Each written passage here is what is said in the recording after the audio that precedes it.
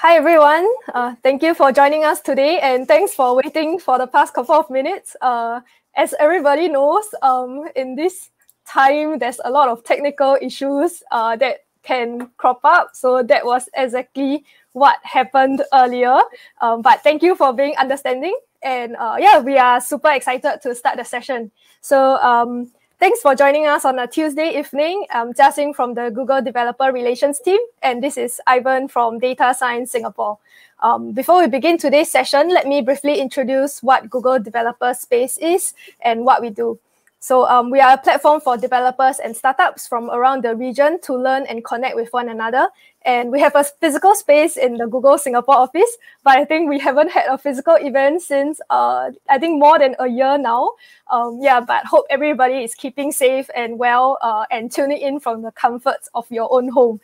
Uh, yeah, and we regularly host uh, events with developers and startup communities. So uh, do subscribe to our channel to keep updated with all the events that are coming up uh, yeah, with that, I'll hand off to Ivan to share more about today's session. Hi, everyone. Uh, good evening. Uh, sorry, apologies for the delay. Uh, so for today, we actually have a couple of speakers from Capgemini.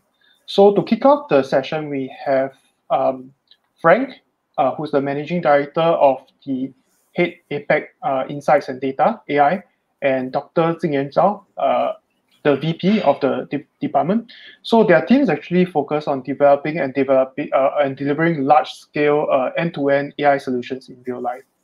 So um, they actually have two parts. For the first use case, uh, they will be actually sharing on document classification and processing using OCR and computer vision methods.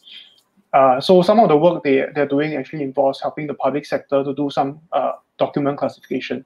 So for the next use case, um, they are actually using an AI-powered smart interior design platform and using image uh, recognition technology and deep learning algorithms to optimize and analyze, sorry, uh, customers' preferences in design, color, texture, products, and enable designers and AI to work together. So um, without further ado, I'm going to hand over to uh, Frank, the managing director of the team, as well as uh, Dr. Jingyan Zhao to do the introduction for their team. Frank, please. Excellent. Thank, thank you very much. Um, thank you very much, Ivan. And um, we'll, we'll start off with a, a, bit of an introduction about who we are at Capgemini um, and, and who the, the speakers will be. So, so as Ivan's already introduced myself and Jing Wong, um, we'll bring to you uh, Richard Price from our Australia business uh, to speak around the document classification piece, uh, and Eve from our China practice to, to speak uh, around the, um, the, the, augmented AI piece uh, with visualization. Um, if we go to the next slide. Um, let me just introduce first off uh, Capgemini. Uh, and if we do next slide, we'll, we'll, sort of give a picture as to where we are within the region. So we, we are a large scale provider. Many would sort of know the brand throughout the region. We have over 270,000 people around the world. Um, and for, for our practice in insights and data, uh, I, I, like to say we get to do some of the most exciting things. Um, we, we drive the AI initiatives, and, and of course, behind the AI, we drive the data platform and data engineering initiatives, which, which of course is, is where the most intelligent AI comes from. So, so for us, this is a really exciting play, um, and we're proud to be part of a very large scale organization uh, that can really help the uh, the environment not just do one or two use cases, but to do data science and AI at scale. So if we go, go to the next slide. The, the other thing that's very important to know about Capgemini is that we pride ourselves both on uh, purpose as well as our values. We've been uh, a company for over 53 years.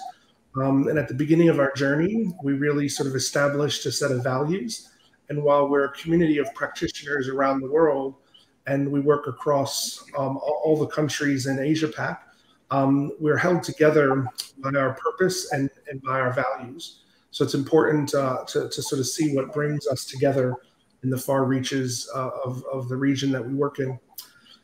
We're also very, uh, uh, very prideful in regards to what we're actually doing for not only our clients, but for our people And we, we have uh, our brand promise, which is get the future you want. And, and for us, this is really meaningful because we're not just out there doing wonderful things for our clients, but we recognize that each one of our employees has a unique journey and a journey that is really powerful for them to develop their skills um, and enhance their, their maturity in the market.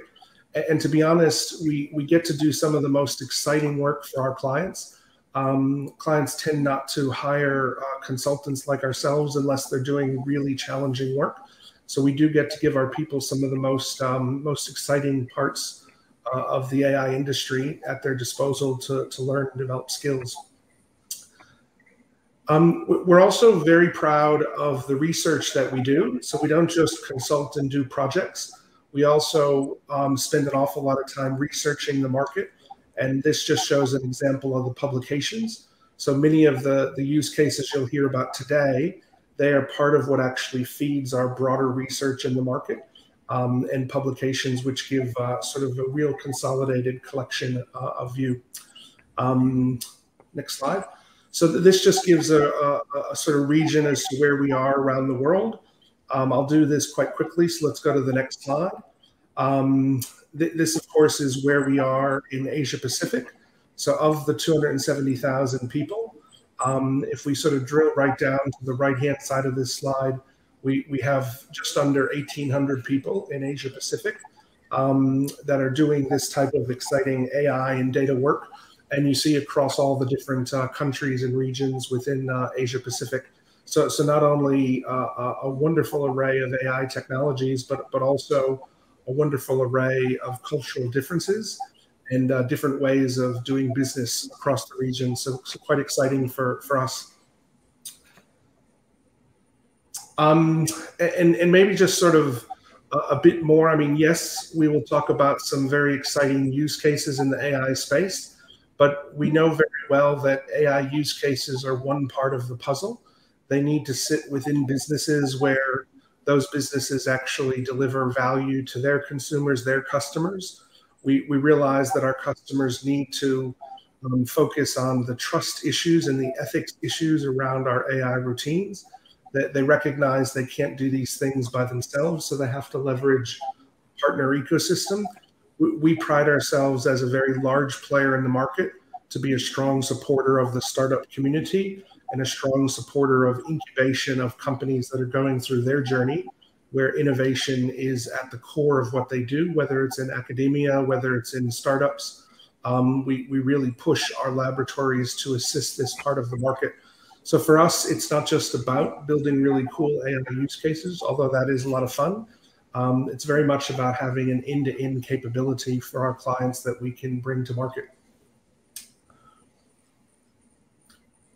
So with that, I'll uh, I'll leave you with uh, Wang to uh, talk specifically about our Perform capability. Wang, over to you. Yeah, thank you, Frank. Uh, hello, everyone. So in the uh, this session, I will briefly uh, share with you our uh, AI capability, our uh, AI portfolio, and uh, uh, some capabilities that we are building now.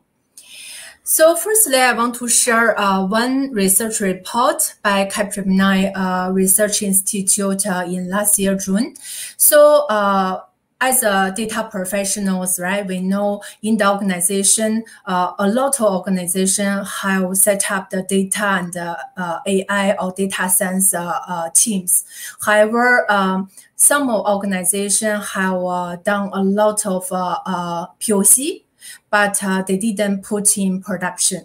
So uh, some uh, um, data science team or some uh, CIO may be facing some challenges uh, about uh, how to explain the ROI of uh, uh, investment, right? So we spend a lot of money to build a data lake, data warehouse, and then we hire a big of a big team of uh, data scientists. But how to bring the uh, business impact to the organization?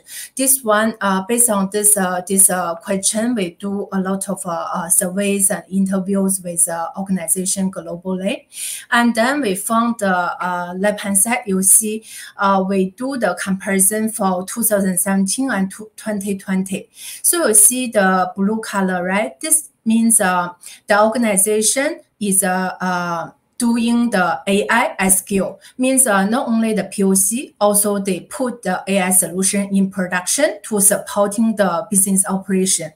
And the red color means uh, the organization only do the AI uh, pilot or POC. So we see in 2017, uh, uh, right? So we have 64% of organization is only doing the POC stage. And moving to 2020, we see this uh, uh, this uh, percentage uh, large scale deployment of AI increase to half half.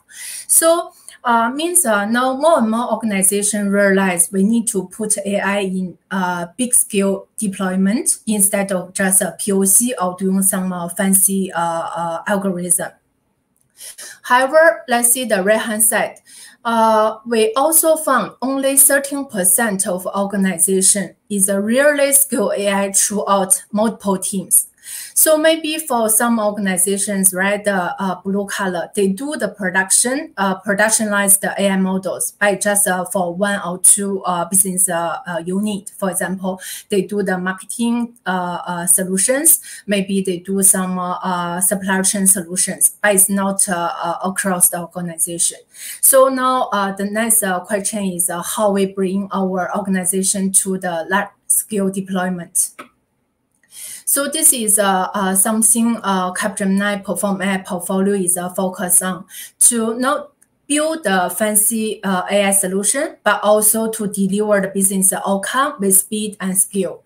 So we want to bring uh, our client from uh, exploration, development to the large scale deployment. So to uh, achieve this uh, large-scale deployment, we need to uh, build a, a, solid data foundation and AI platform. Also, we need to have the uh, team of uh, rescue site.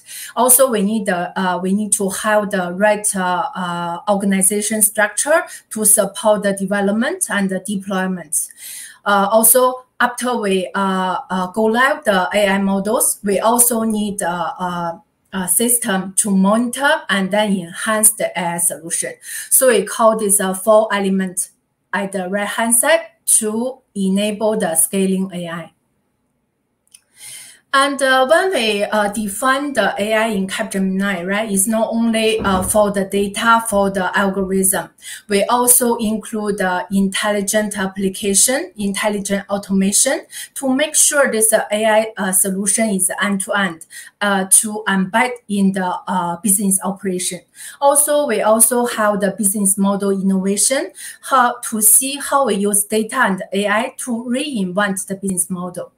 And uh, globally for uh, AI uh, domain, we have 55k professionals across the multiple countries.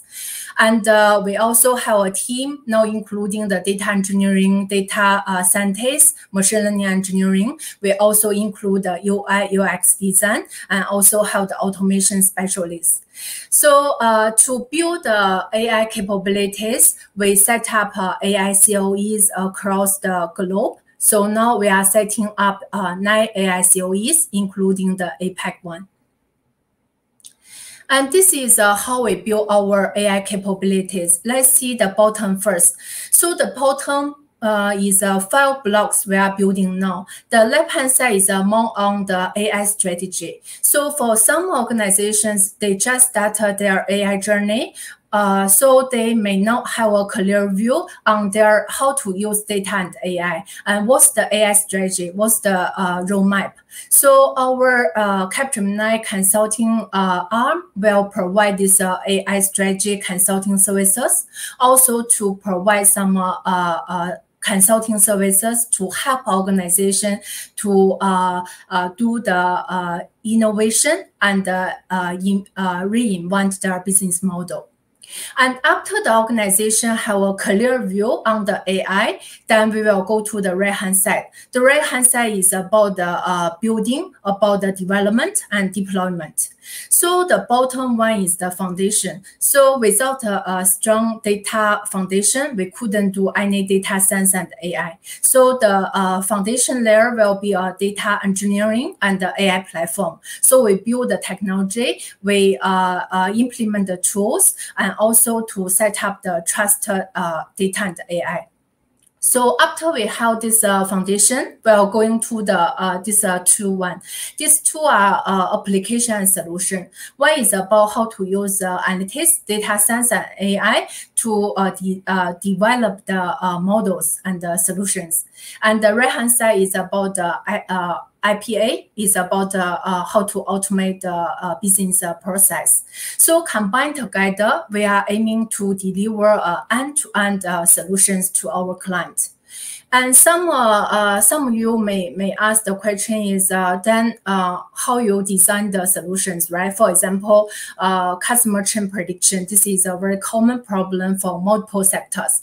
Whether we are just uh, develop a generic model, no. So we are building the model is based on the sector, based on the business domain. So you see the upper one, right? We will focus on the three uh, playfield uh, is a customer first. This one is a focus on the marketing, the customer service, the sales, right?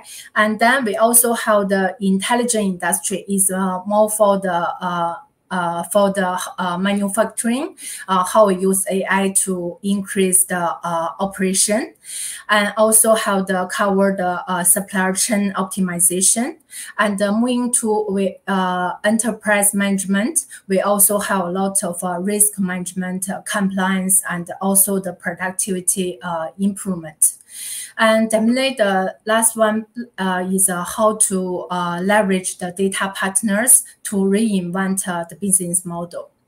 And for each sector, we have the uh, sector leaders to uh, lead us to provide the sector-driven AI solutions for CPRD, for public sector, manufacturing, telco, utility, and financial services. So this is the Capgemini Perform AI setup. Uh, besides our internal uh, Capgemini internal uh, data professionals and uh, capabilities, we also leverage the uh, global ecosystem to apply innovation exchange network. We call AIE. So for by today, we have uh, set up uh, 20 plus AIE centers already. In APAC, we have Singapore, we have Australia, uh, India, Shenzhen, all these uh, centers. So through the AIE network, we are talking to the uh, global uh, AI startup, AI uh, technology partners to bring the new technology uh, to our clients to do the innovation and the R&D. And today, uh, for the AI, right, we are setting up the AI COE by domains. For example, we uh, we have some COEs uh, focusing on the computer vision, have some COEs focus on the speech and NLP, and also have uh, um, uh, AI COEs focusing on the deep learning, machine learning uh, algorithm build, uh, uh, build up. Uh, today, uh, we will walk you through some computer vision capability and applications. So in Capgemini, uh, we have uh, different uh, sectors. We have different applications. So for the computer vision, the common one we know, right, is uh, facial recognition. Also can apply into some uh, customer analytics, for example, to understand the customer emotion, to uh, provide some product recommendation and understand some sentiment. But we also utilize the apply the computer vision in the different domains. For example, in the uh, oil and gas, in the manufacturing. So the first uh, image you see, right, is a, a hardware plus a, a software uh, application. We are using drone to uh, capture the image and video for the uh, oil and gas uh, companies. And to also the backend, we build a, CNN algorithm to identify the broken insulators. So this one will help this uh, uh, client to do the predictive maintenance instead of uh, uh the insulator uh, have some uh, downtime or some to to have some delays. And the middle one is uh, also we apply this uh, uh, computer vision in a manufacturing business scenario. So we want to identify some default defect to do the quality, uh, quality assurance. So for this one, we put the camera to uh, capture the uh, images. And then we use the deep learning algorithm to identify the painting damage and the location. And uh, if we identify this uh, damage, we will remove the, uh, the product immediately using the robotics. So this one is another example of uh, end-to-end solutions, how to use uh, computer vision in the, uh, in the manufacturing. And the right hand side, this one, this one is uh, to uh, uh, identify whether the worker wearing the safety helmet and safety uh, jacket. So this one is uh, also is an application to make sure the safety. And the bottom two cases, one is the smart trolley. When we go into the supermarket, uh, the biggest uh, uh, challenge we are facing is uh, is a long queue, right? The customer long queue. So then how to do the uh, the uh, automate uh, checkout. This one is uh, some innovation we are doing now. So we are combining the barcode reader and also the image uh, uh, uh the computer vision technology to identify the SKU immediately and help the client do the self uh, checkout instead of queuing. And the right-hand side is also use a computer vision to understand the uh, retailer supermarket shelf so this one will help the brand and help the store manager to understand the brand performance and the product performance. Also, we can do the competitor analysis. Also, this one will capture uh, some uh, uh, common challenges in the uh, supermarket. For example, out of stock, right? Uh, when we identify the out stock, then the store manager can arrange some uh, some restock activities. So these are some uh, uh, examples we are doing the uh, computer vision application for our clients. But definitely in today's session, we will have uh, Dr. Uh, Richard and Eve to share uh, two cases in details. The first one is how to use OCR and computer vision do the document classification and processing. And the other one is about the the designer domain. So now I pass to Richard to cover the first uh, case study. Richard? Sure. Hi, hi everyone. Uh, pleasure to be here. Uh, my name is Richard Price. I have the pleasure of being the head of AI analytics and data science for Capgemini Insights and Data uh, in Australia. And uh, what we're going to bring uh, now is uh, about some computer vision work we've been doing for one of our government clients um, uh, in, in, in the area of document processing. Um, so, um, uh, JY, if you wouldn't mind going to the first slide. Yes. Thank you. Um, so, many governments, as I'm sure people are aware, many, government, many government and commercial organizations require customers to upload documents uh, in support of the organization's business processes. That may be uh, a customer making an application for something, making a claim, providing a proof of identity or a proof of payment. I'm sure we're all familiar with, uh, with having to do this from time to time. And so these documents are typically scanned um, uh, into computers and then um, forwarded to the organizations or they're uploaded as photographs.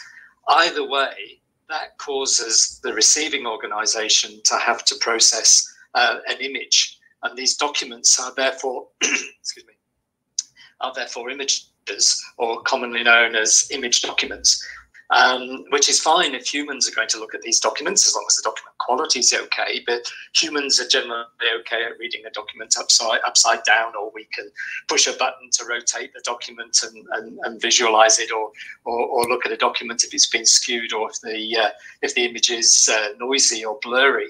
But um, it, that that situation poses a lot more problems if we want to automate that process um, by, by with with computers and therefore the problem becomes a computer vision problem. Mind just moving on. Um,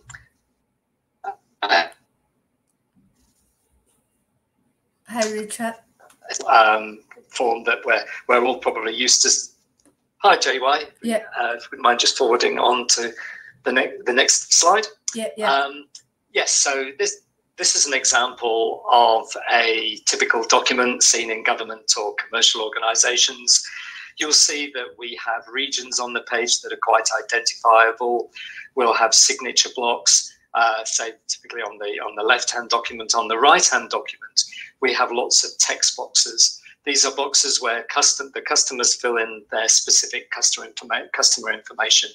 Within this field of document processing, these fields are known as entities. And if we want to automate this process, we, we need to be able to identify the location of these text boxes and then extract the core information from them. Um, but th these documents here, I mean, they're what we would say would be pretty good quality. The document on the left-hand side has some uh, some typical complexities. You've got a a, a finger blocking or possibly a thumb. Um, uh, in, in the middle of the document. You've got a bit of a shadowed on the bottom left.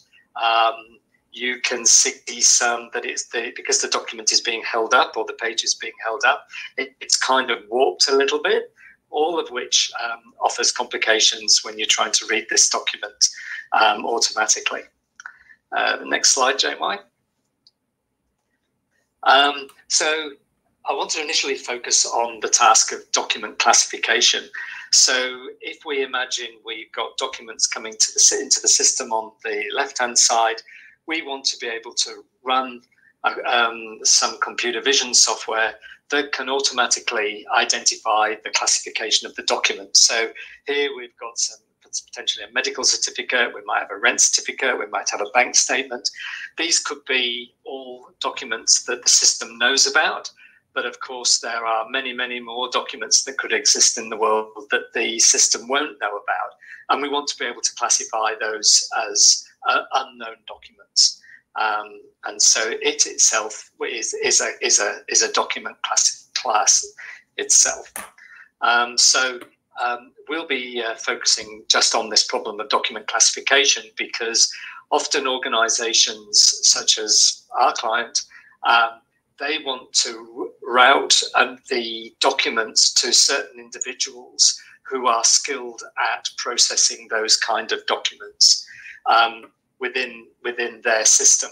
And if that if a document is misclassified and routed to the wrong person, it it confuses the system with the, the um, and it and it adds um, complexities and inefficiencies because the person that does receive that document incorrectly has got to put it back into the queue, and then that document is going to go back to the bottom of the queue, causing that customer's case to be delayed in processing.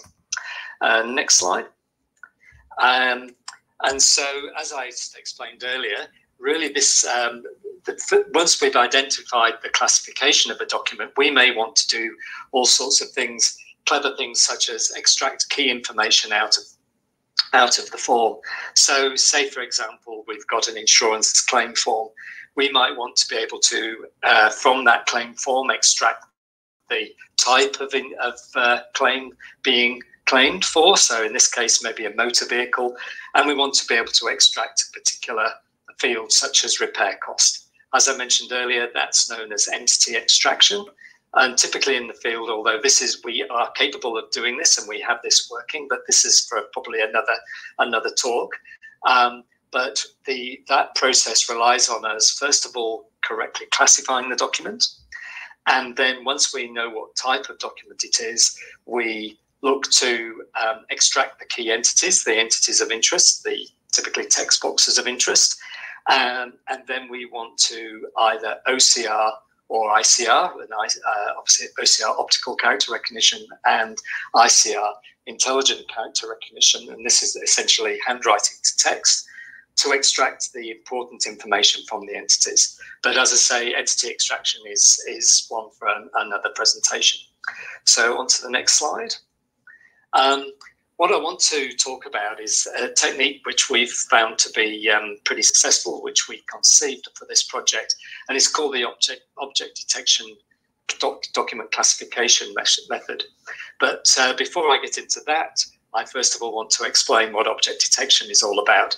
Uh, many of you, I'm sure, will be aware of it, but um, the definition of object detection from Wikipedia is it's a computer technology technology related to computer vision and, and, image processing that deals with detecting instances of semantic objects of a certain class, such as humans, buildings, or cars. So on the left, we've got a, a street scene of probably, I would say, London, judging by the, the big red bus. And we can see these boxes have been placed around uh, the, the people and the vehicles um, uh, that, that, are in the scene. Um, on the right hand side, we have some computers, we have chairs, we have people, all with boxes being placed around them. And this is what object detection software does it, it places a bounding box around the region within the image where it believes uh, an object exists or an object that the object detection system knows about.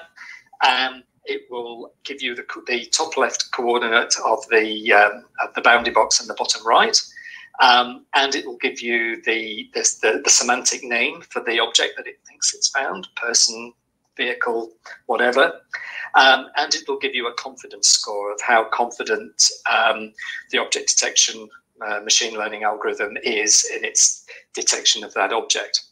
Um, now, there are commonly used open source platforms that, uh, like uh, a lot of things these days, we don't have to do these things from scratch, uh, which many years ago we, we used to have to, but now um, things are made a lot easier and kindly people like Facebook Research um, and others have um, provided open source libraries to allow us to um, connect into um, object, object detection capabilities um, and use them in our applications. Some of those, some example frameworks that are available, there's Detectron 2, that should read Detectron 2 uh, from Facebook Research. There's YOLO version 5, I think YOLO stands for You Only Look Once, and um, Fast AI. So these are different uh, Python-based libraries that we can utilize. Um, we, for this project, used Detectron 2 from Facebook AI Researchers uh, research group, um, which, as I say, is, uh, is open source. Um, it, like most of these packages or capabilities, it builds um, on um, transfer learning um, to build upon existing pre-trained image, rec image recognition models. The one that uh, is uh, well, I think uh, you can access various ones from Detectron 2, one of which is um, ResNet uh, 34. Um, so ResNet 34 is again publicly available. It's a 34 layer, i.e., deep, deep learning, um, layered residual convolution neural, neural, network that has been pre trained on um, 100,000 plus images from a image database called ImageNet, and it's being pre-trained on 200 different classes, different objects that are seen in the common world. And transfer learning, for those who aren't aware, is where we take one of these pre-existing trained models, so the, the, the, the, deep learning neural network has all the weights and the weight values um, trained, and we then top up the training of that network to make it um, basically be able to detect the objects of interest for our particular application. In our case, there are regions of interest in our client documents. Um, and the way I sort of think of this is that the ResNet 34 comes pre-trained and allows you to be, and, and it can see and what we're doing with this um, transfer learning is enabling it to see the things that are of interest to our particular problem. So uh, if we just move on to the next slide. Um, this uh, is now getting on to explaining how the object detection based document classification system works. Um, we do um, we, we do this by the process of selecting four anchors on a document. These are four regions on a document which we typically choose to be um, just, if you like, the form related information and won't that doesn't contain any customer information. Um, because if we if a customer is adding information in, it's going to add noise.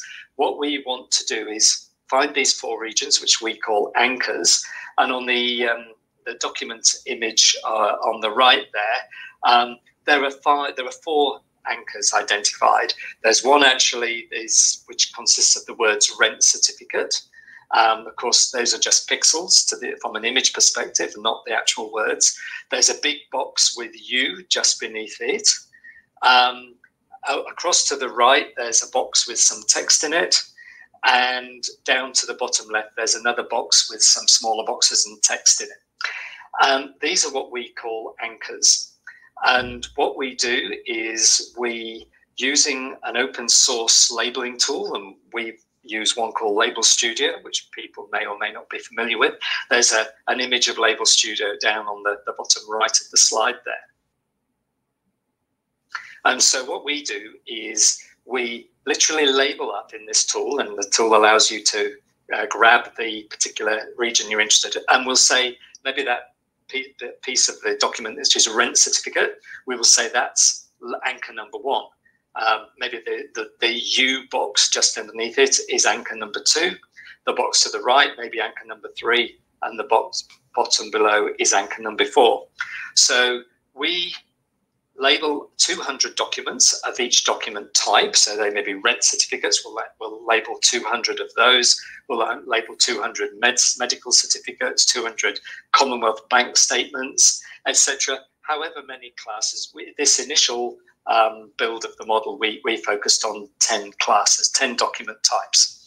And so um, then what we do, so once the once the um, the documents have been labeled, we then train Detectron 2 through transfer learning to learn these four anchors of all our documents. So, um, interestingly, what we've done is we've used a concept or a concept which we've termed label overloading.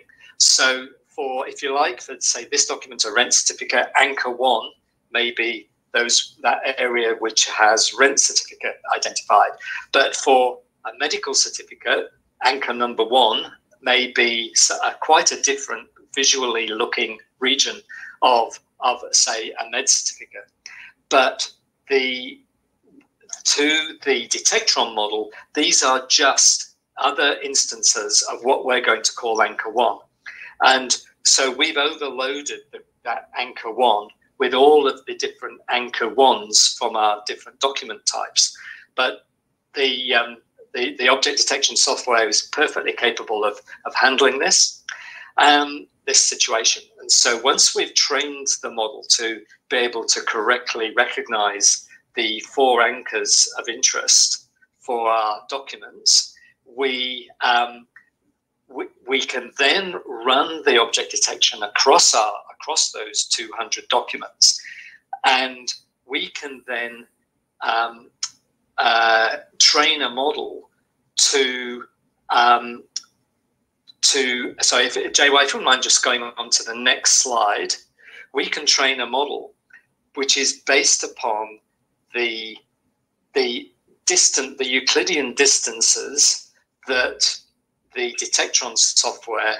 Uh, well, we, from the Detectron software, we identify the centroids, the centers of all of the four anchors, from which we can calculate the Euclidean distances between each of our anchors. So we can calculate the, the Euclidean distance, difference distance between anchor one and anchor two, anchor one and anchor three, anchor one and anchor four, anchor two and anchor three, um, anchor two and anchor four, and anchor three and anchor four. So all combinations of those distances can be calculated. And what we essentially do, so I've, I've, on this slide, I've given the, I'm sure people will be familiar with the, uh, the calculation for Euclidean distance, but the Euclidean distance between two points x1, y1, x2, y2 is given by that expression there. And from that, from these Euclidean distances, we can basically feed in 200 examples to a second model of these distances. And we say, well, these distances are the distances that are associated with, say, a rent certificate. These distances are associated with a medical certificate, etc., etc. And so we use the Detectron 2 software to, to detect the presence of the anchors. We once we detect the presence of the anchors, we calculate the combinations of those Euclidean distances, and in fact, the confidence scores produced by Detectron2. And they go into a, our final decision making classifier, um, which is a straightforward Gaussian. Um, a, a, a, Gaussian mixture, uh, sorry, Gaussian, um, Gaussian, uh, um, a, a, Gaussian-based method from sklearn. Um, gradient boosting method, beg your pardon, uh, from, from sklearn. So um, that is that's a straightforward classifier and um, doesn't take much training at all, trains up in seconds. And so um, uh, I'll present the initial results we had on um, 1,010 randomly selected uh, documents in our test set um, from uh, which were selected from 10 separate classes. So approximately 100 documents in each of each uh, test, test class. And they were randomly selected from our production database. So they these had all the uh, the standard errors and um, and uh, complications that our customers can uh, can throw at us. And uh, so on the table to the right, we have the precision scores for each of the uh, 10 classes, the recall scores, and the F1 scores. Um, and we can therefore, of course, calculate the the, uh, the mean accuracies, precision, and recall across all of the 10 scores. And as you can see, it's highly reliable against that test data set. It's 90, it's proven to be 98% accurate. And um, so and and this these metrics have have held up when they've the uh, when we've thrown many more test documents at uh, at this system. So um, you may think, well, you've only presented results for ten document types, but our uh, where in the real world we're probably going to have to deal with a lot more than that, and that is quite true. And so um, if we want to add another document type into the system, we basically have to source 200 documents of that type of document and, and label the four anchors uh, using Label Studio. And it takes about a day to source and label 200 documents, we found. And then we've got to uh, retrain um, our ResNet 34 um, object detection um, algorithm. And that is that typically takes uh, at least overnight. We typically send, set it running before we leave uh, uh, at night, and it'll be trained in the morning. And then we want to do some final checks. And so it's basically a two-day turnaround. We find to add a new document type. We're, we're currently trying some interesting ideas using the concept of image augmentation, which these are this is software that allows you to blur, rotate, uh, basically um, add all sorts of forms of noise to a document. And if we can, um, we could possibly uh, train our documents on these uh, sort of synthetic, synthetically created noisy documents and possibly do away without the need to have to label the 200 documents. Um, now, the business benefits that this uh, can offer, as I was saying earlier, um, if now our, our client organization can have 98% of their documents, um, of, of the client documents, uh, being um, directed to the appropriate person, this will add significant speed um, and, and, efficiencies to, to, their business processes. Um, they currently have um, uh, a whole team of 40 staff whose sole job it is to to perform this document classification task manually, which could uh, which could all be um, man, uh, this could all be performed uh, in an automatic fashion. Um, and so that not only speeds up our clients' business processes, it will also improve the customer experience for for our clients. Uh, just moving on, JY. Um, now, some of the technical problems and learnings, um, as one might expect, because we've trained the model on real world documents taken randomly from uh, from our, our, our image our document database, um, it's inherently been uh, trained to, to, to deal with the, the noise of, uh, that our clients throw at us in, um, in, with their real documents. You know, documents that are rotated, uh, upside down, um, are pixelated, uh, maybe warped. Or all of the training documents have got these uh, issues within them, and so um, the, the system sort of inherently learns to be able to deal with these complexities. Um, one little thing that I didn't mention when I was talking about the Euclidean distances is we always we normalize our Euclidean distances relative to the the Euclidean distance between anchor one and anchor two, and so we divide all our distances by that fixed amount, and that trick enables the system to be scale invariant. So if a, if a customer is taking a photograph of a document from maybe 30 centimeters away or 60 centimeters away, that would, that shouldn't matter because the object detection software will still find those objects within the images and the relative distances will still will, will be unchanged by the scale change um, introduced by by the photograph uh, being taken at different um, heights. And so the system is again inherently scale invariant um, tricks, we found that um, object detection doesn't tends not to work very well for very small regions, and interestingly also for very large regions. Um, and so you've kind of got to just find that sweet spot, which is around that 30 to 40 center sort of millimeters um, kind of uh, height and width. I mean, you can go obviously, uh, you know, within a, a, an order or, or, or, you know, one and a half times that kind of of, uh, uh of shape. But um, we found that tends to be the sweet spot. Um, and the other trick we found is that this uh, trick of overloading our um, our anchors. And so finally, moving on to the conclusion slide. Um, as I just mentioned, the object detection-based document classification system has been to hand, has been designed to handle the complexities faced uh, when classifying real-world production documents because it's been trained on uh, the very same. Um, uh, the system has proven itself in, uh, in, in more extensive testing and is currently being integrated into our client's production system. Um, it's been developed in a containerized fashion and therefore can be relatively straightforward, uh, lifted and shifted and transported into another client, another uh, another document uh, domain. And uh, we, of course, we, it would need labeling and training for your particular documents, but um, uh, you know it, it should relatively uh, seamlessly um, be capable of being of, of moving into a totally different environment.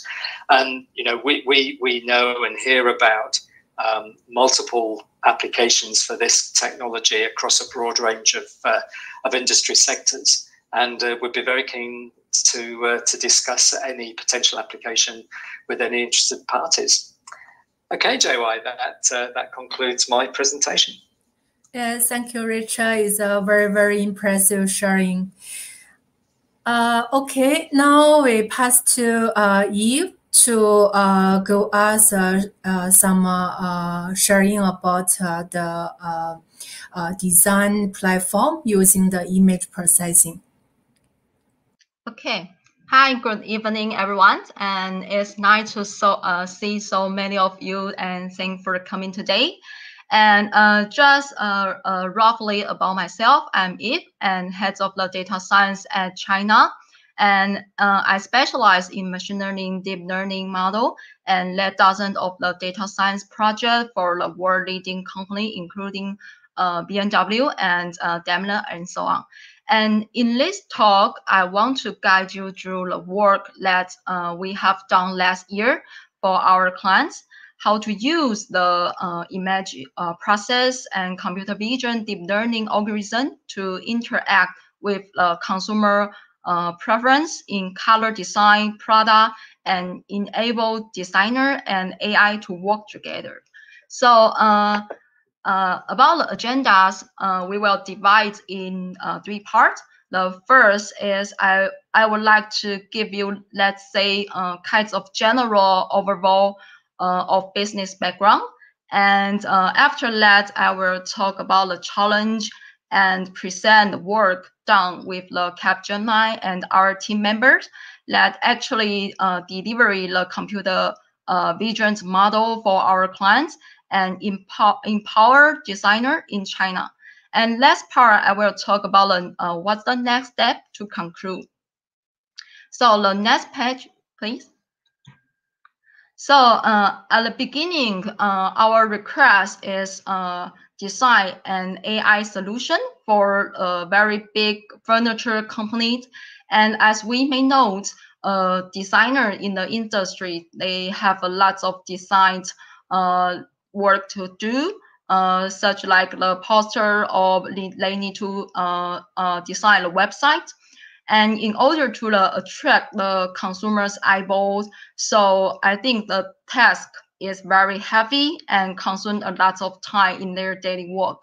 So they they they eager to have an uh, AI assistant to help them design the dominant colors, secondary colors, and boost the quality of the idea generation uh, process.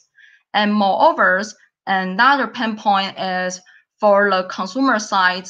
Uh, in the past, they just sell their uh, product and put the item on the shelf. But right now, they would like to improve the interactions with the end user and increase the customer experience uh, in their purchase process on the website by uh, using our AI solutions. So nowadays, AI can help to achieve these two goals. So in this uh, in this pa uh, last page, JY. Move to the uh, the last page, previous page. JY. Yeah. So uh, in this uh, in this page, we uh, just sum up the uh, the backgrounds. And in general, based on uh, we have already a clear goal, just like I mentioned. So we want to help our client to deal with the pain points by our AI solution, including uh, serve the consumer and designers. So our goal is uh, how we use the deep learning algorithm to analyze uh, customer preference for the uh, color design and how AI can boost or improve the quality of the idea generation uh, process for the designer. So uh, you can see in this page uh, at the right, uh, at the uh, left hand side, uh, based on the background, we propose the module for our clients, which include the color analyst model and tagging model and AI scoring model in generally, uh, first colors model is help to analyze the color from the uh, picture for the designer. And the tagging model is identified the object of the image. For example, they can identify the, the table or the chairs of the image. And finally is uh, AI scoring is how we evaluate uh, the image qualities and uh, uh, which means we can use the AI model to uh, say the picture is beautiful or not. So uh, we already know the background, so move to the, the feature design. So uh, this is our uh, feature design, and we built three model. Uh, just I uh, mentioned color tagging and scoring model. You can see on the left, and we also provide the API service for further deployment for our clients. And so uh, in uh, in the scope, uh, the blue part is the uh, list scope of the this POC.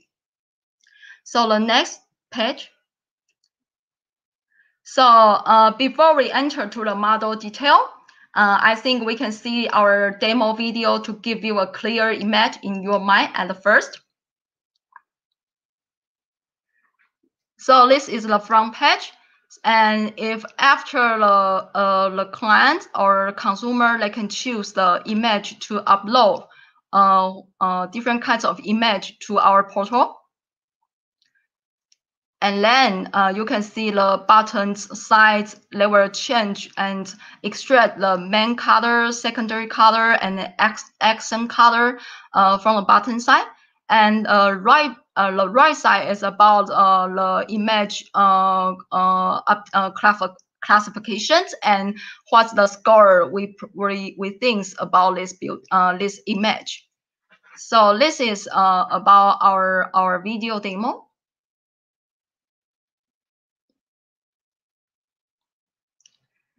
So uh, after after our our demo, you may have uh, big pictures uh, and uh, an image in your mind, and so you may be very curious how we did that, uh, applications. So in this uh list in this page, we propose an end-to-end AI solutions and architecture. Uh, we we we you can uh, you can see in this site and client can upload at the beginning client can upload an image input image from the front end portal. Uh, just the you can see in the left and upper side. And it will be passed to our three AI modules that we decide, include the color tagging, scoring AI model. And about the model training, we train our model on the Ali Cloud and explore our models uh, parameter in, uh, include to the H5 and jobless BIOS. And finally, we deploy model uh, by the Flask on the uh, backend side. So you can see the, the overall big uh, architecture in this page. So uh, we can move to the next page.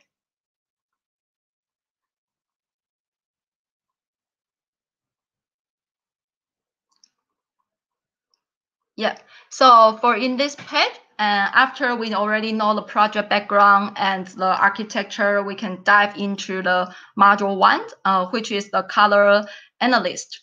And uh, color analyst is uh, to want to help analyze the color and extract the color from the pictures and for our designer. So uh, at the first, we can compare our solution to other color extractions uh, websites. And you can see in here the middle of the uh, the right hand side, and uh, you can see most of the uh, software or website they only can extract the black, gray, and white color for the main colors. But uh, compared to our model, we can concisely extract. you can see is our upper upper side you can see uh, our model can concisely extract the three different uh, dominant colors and three secondary colors and one accent colors. So uh, we can extract uh, more color, more color instead of only just different level of gray and and, and black. So our module is more uh, sophisticated and enable to identify more detail of the color and our uh, our client is very satisfied uh, with the performance of this model. So this is uh this is uh the demo, and uh the next page. So uh, just like I mentioned, the model uh, performance uh, actually is very great. So how can we deal that?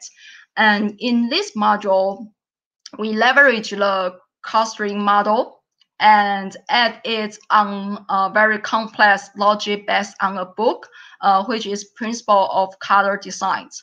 So uh, you can see the, the stage one, uh, we did uh, data processing on image, include uh, resize the image and transform the color to the grid.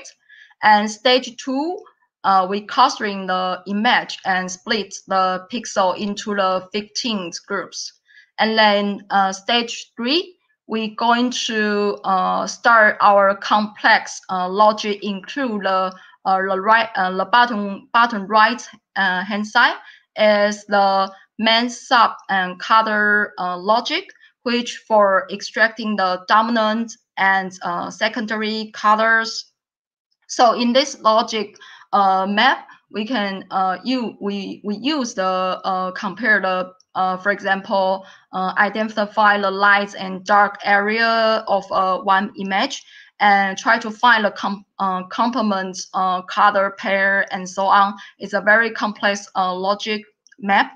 and others complex accent color logic is used to identify the color object with area smaller than 5%, and the color is bright or not, and background is dark, and so on. So, uh, so far, this is the introductions of our color analysis uh, module, and then we are going to tagging tagging module. Yeah. So uh, you can see in here, and and you already um, learned from. Uh, he mentioned about the YOLO v3 and object detections uh, uh, the part. So uh, in our module two, actually is our tagging uh, model. We built this application based on the YOLO v3 and download the web from the official website. And some of you uh, may know YOLO v3 can detect the uh, AT object uh, classes uh, for this model. And we base on and communicate with our clients. And based on the client's opinion, we combine these AT classes to 20 categories. So we can see the, uh, the 20 category on the next page. Yeah. So, so for example, uh, if the, uh, the consumer uh, lay or uh, they upload the image on our portal, and we will uh, try to identify what kinds of the objects uh, of in this uh, image, and then we will group, uh, for example, sofa, chair, tables uh, into a group as a furniture or we will, uh, if we see the fork, spoons, cup, and so on into the tablewares. So uh, uh, this is the, the module two tagging model.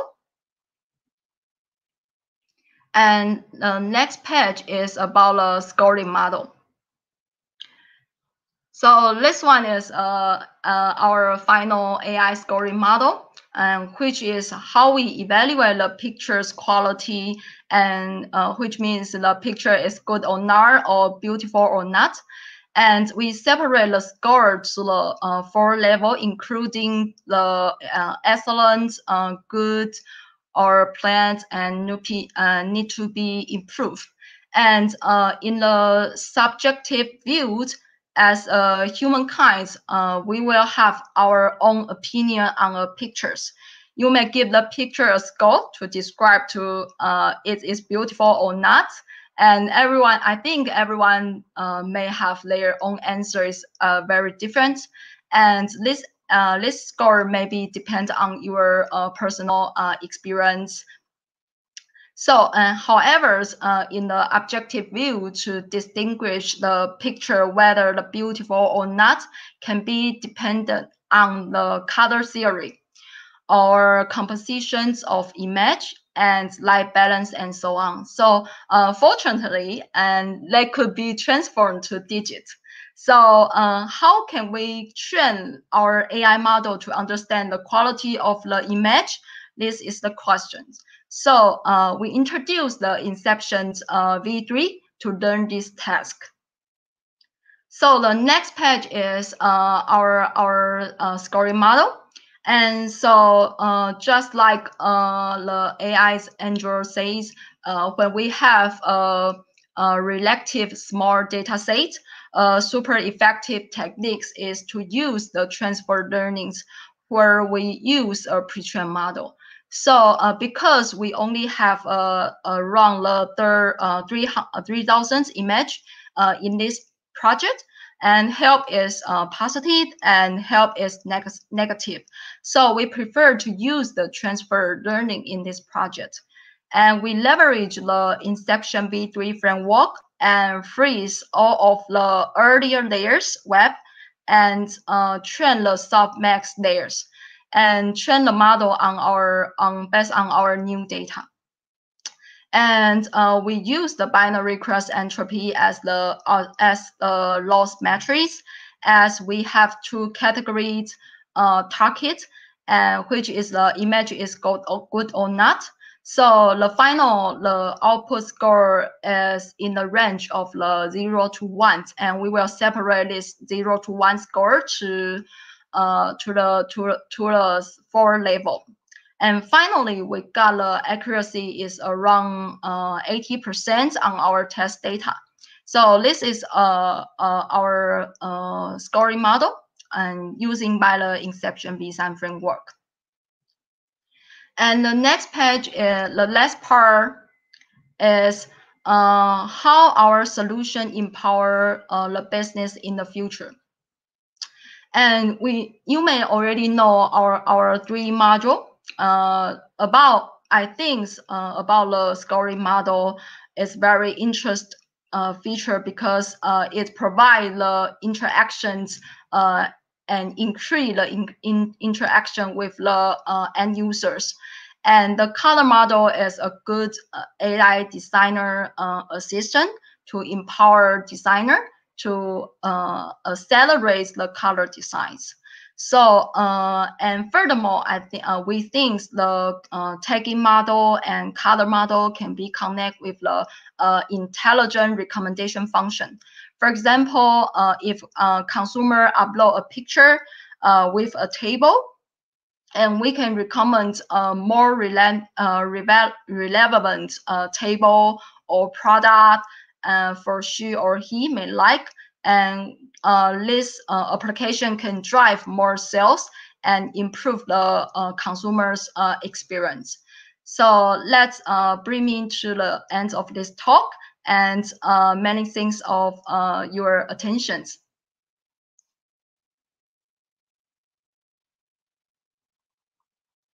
Is uh, this work is uh, is amazing one. So um, at the first beginning, we share a lot of uh, computer vision, for example, to uh, do the facial recognition, to uh, increase the productivity, to reduce cost. But now we also apply the computer vision in the designer, uh, the design domain. So it's a very uh, innovative application. Thank you.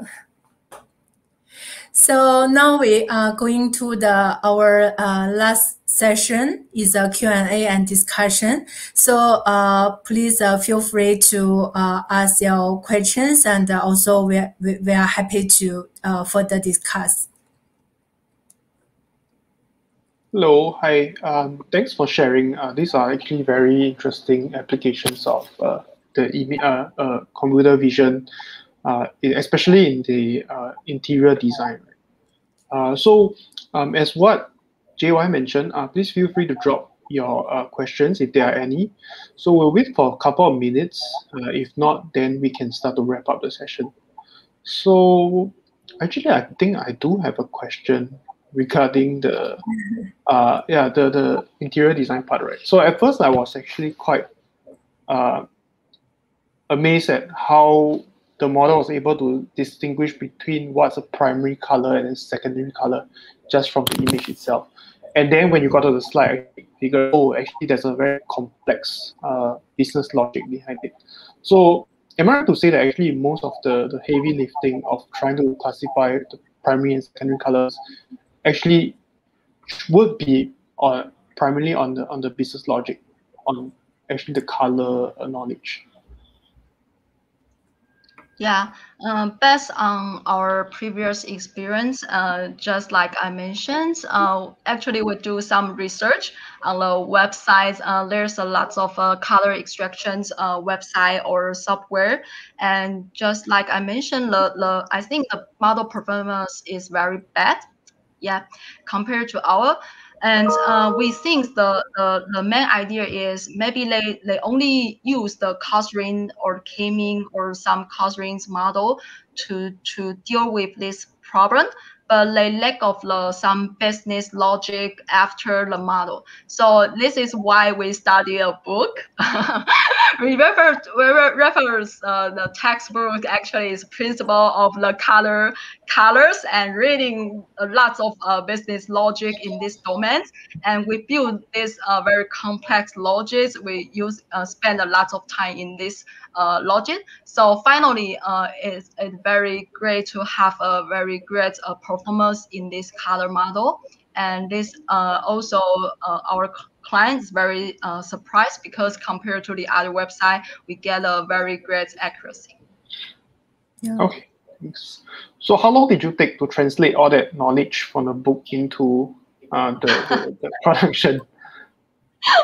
Uh, actually, uh, I think uh, uh because this project take us around two months, and uh, at the first month, we we try to to the formal traditional uh, uh, clustering model k-mean or so on.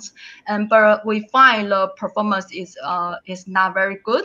So we, we at the first uh, month of uh, the end of this first month, we start uh, start to read the book.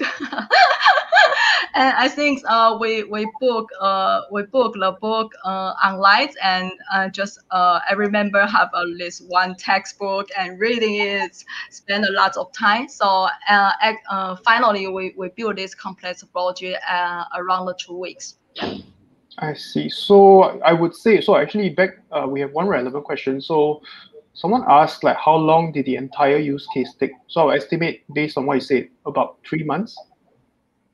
Yeah. Uh, normally, uh, normally is uh, we will use uh, uh, to build the, the this kinds of AI solution around uh, three months. But in this case, we only use the two months. Uh, what's the reason? Because uh, uh, actually it's based on the, the client's budget. They only can accept the, the two months. But uh, just like I mentioned, I think uh, the, there's, a lot of model we we, we won't need to uh, just build it from scratch. So we use the transfer learnings and the in, inception V3 to do, and it will be uh, accelerate the whole process with we do this kinds of module. And I think it's a very interesting uh, project because you can see we, we won't uh, build the, uh, the very deep learning model by ourselves uh, from the scratch. We also can just directly use others uh, pre-trained model to do some business innovations for our clients. So I think uh, this is uh, the, the value. Yeah. Okay, thanks. Uh, so we have actually two more questions. So the first question is direct. Uh, uh, both of them are actually directed at uh, Dr. Richard Price. So maybe uh, JY, can you help me read these questions to uh, Richard since he's actually on the phone? Okay, so the question is uh, from uh, uh, Dr. Uh, Weilun. So is it necessary to use ED for the document classification user case? Richard, can you answer the question? Hello, Richard. Hello, can you hear me, JY? Yeah, we can hear yes, you. hear you. Oh, you can so, hear me. Um, yes, the the Euclidean distance. Uh, the, I think the question was: Is it essential to use the Euclidean dis Euclidean distances? And yes, they are the main features um, of the model. Um, this is these distances allow it to classify the um, the different document types because document type, say uh, one, may have one distance between, or you know, one set of distances, and another document type has another set of distances. And these are the key differences that the technique is using to differentiate between different document types. So I, I think the answer is yeah, yes, it is essential. Yeah, also, uh, Weilun have another two questions. Can you see the question? Uh, yes, yeah. and, and, and following on, funnily enough, um, we found the Euclidean distances to be very important. The results did drop a little bit when we uh, only used the Euclidean distances and took out the confidence scores. Um, but we found the best results were by having them both uh, both in there. But the Euclidean distances are doing the heavy lifting. And the second question is the yeah is second question is the confidence score from YOLO file as a uh, input to GBM.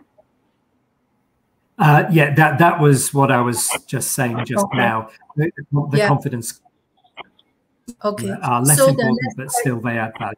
Yeah. Yeah. So can we see the next question?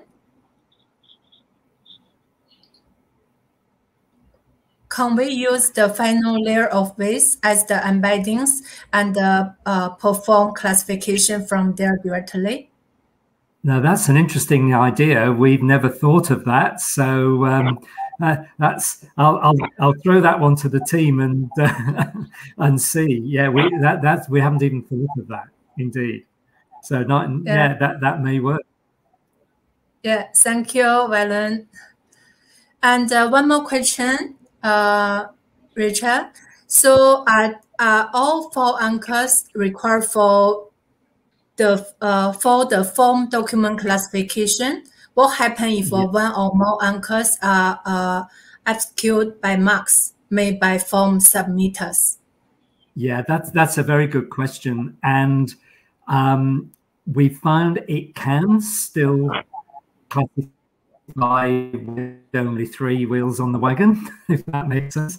Um, but because uh, we have hit that very scenario, anchors not on as not um, as too close to the edge of, of a document, because if a document is rotated, then you may lose part of one of the anchors, which means that it that it, it may not get detected. Um, but interestingly, when we've seen examples like that, we have seen it classify um, uh, documents correctly. Um, we've seen a bit of both, but uh, overall, I would say it handles that scenario quite well. Um, two two anchors and no, but uh, yeah, it can still work with three. We have tried with only three uh, anchors um, for the whole method, and the results did degrade. And, and and but we don't want to go to five anchors. The results presumably would still improve, but with 98% accuracy, we feel we've we've kind of it, it's good enough, and we don't want to add extra imposition on people having to label a fifth label. Okay, so we have one last question. So that's actually not direct to any specific project. I guess any of you can take that. Um, so CV is growing fast. There are a lot of multimodal related research and applications. So can any of you share more insights on this and what kind of future trend will happen in this direction? Uh, maybe I can share some of my experience and then Richard, you, you can add on. Uh, so definitely uh, computer vision now we, we have seen uh, a lot of uh, demand from the market. So one direction is about the um, consumer. So or we could say uh, human being, right, to do the facial recognition. This one can be used by the government do uh, a lot of uh, citizen services and also the surveillance, right? And also the emotion detection.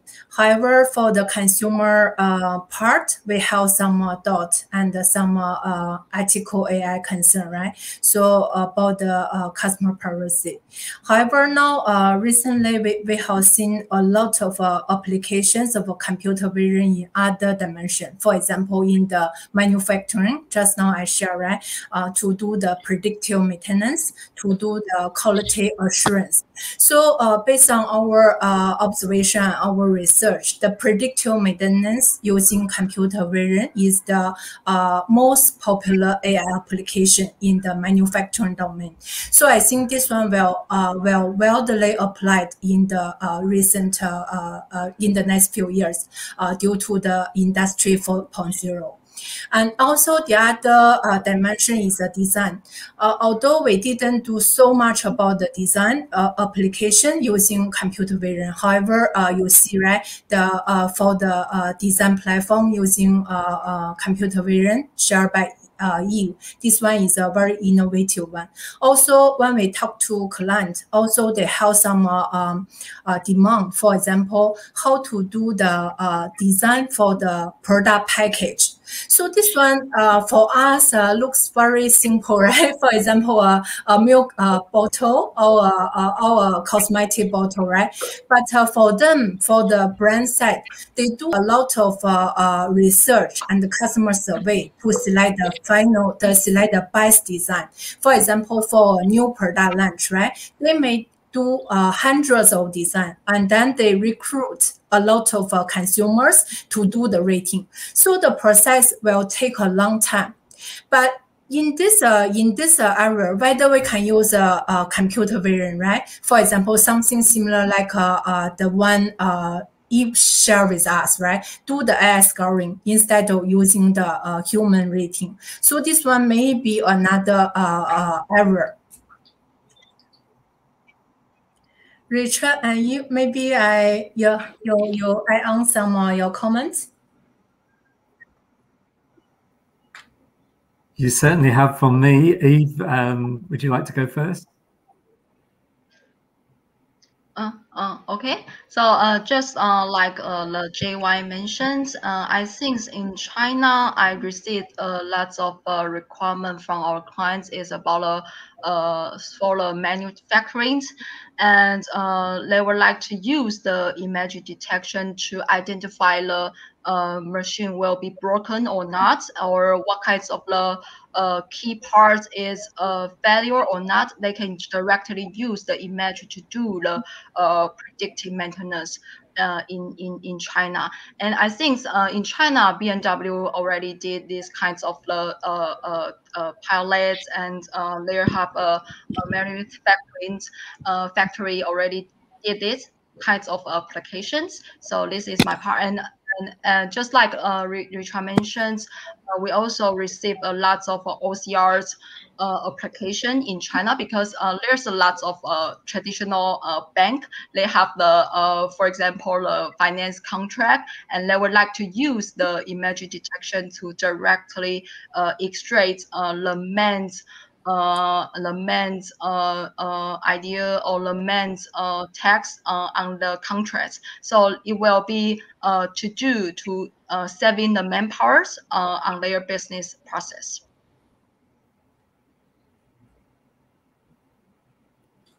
Yeah, I, and I think the ladies have covered just about everything I can think of. But I just feel we're limited by our, we're only limited by our own imaginations in this space.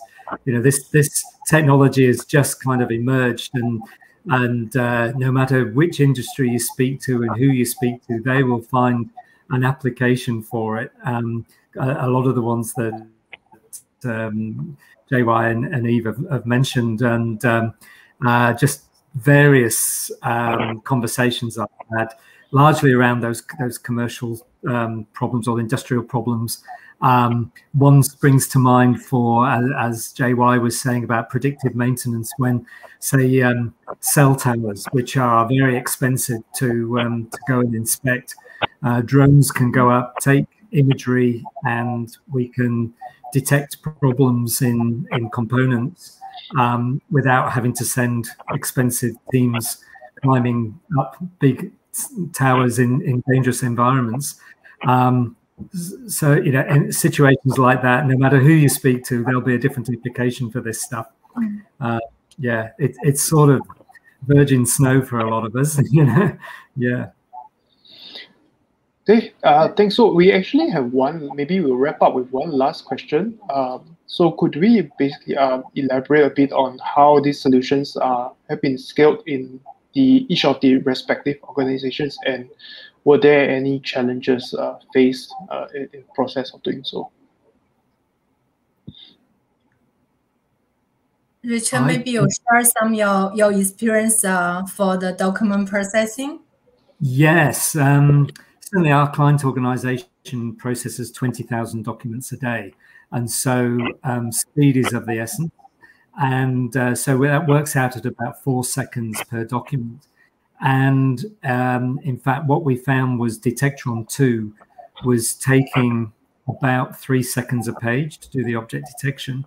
And um, and that was for some documents too too slow. And what we've had to do is um, consider um, YOLO because uh, and, and swap to YOLO because YOLO is much, much quicker. It's uh, just on CPU, um, it's down at around 0.1 of a second per page. To uh, so these are some of the real world issues. So sorry, uh, the, the, what I should have explained is there are two environments that are that can be contemplated. One is in the online space, so literally as whilst customers are uploading, and that's where speed has to be quick because you don't want to interfere with the customer experience. But if you're doing it in the offline, then uh, speed is less of a less of a concern. But so moving things into the online space, um, obviously computer vision is quite resource and compute intensive, and we've had to um, to think of ways to to get around that. And YOLO is is would be our advice if you want if you need speed. Okay. Yep. Uh, okay. Yeah. yeah. Do you have anything to add on, JY? Maybe I just uh, uh, share some uh, general uh, general uh, experience, right? So when we do the uh, scaling AI, right, the deployment of uh, AI at scale, so uh, we observe our clients are facing some uh, common challenges. So the first one is uh, they are they are maybe they are missing the skill set in the organization because this one is uh, not uh, data scientist work, not uh, the, the data engineer work. Actually, we need to have a uh, uh, machine learning engineer to set up the ML ops pipeline, also to uh, do the production.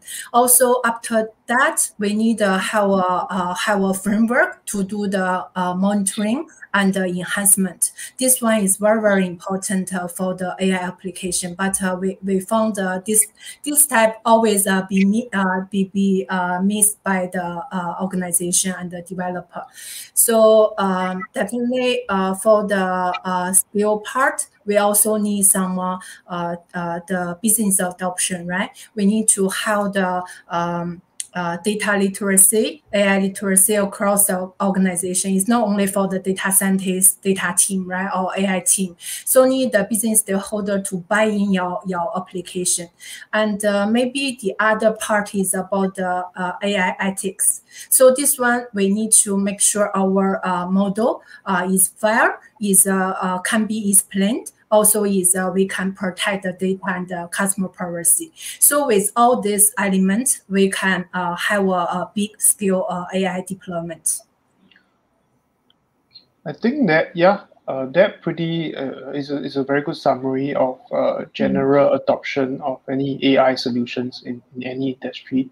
So we have come to the end of the session. So I would like to thank uh, Eve, Richard, and Xingyuan from uh, Capgemini to, to share uh, their, their projects and as well as for answering all the, the questions that we posted. And of course, want to thank uh, our, our um, community for attending the event and last but not least, uh, Justin from Google uh, Developer Space for helping to support this event. So thanks everyone and we will see you next time. Bye bye. Thank you. Thank you. Bye bye.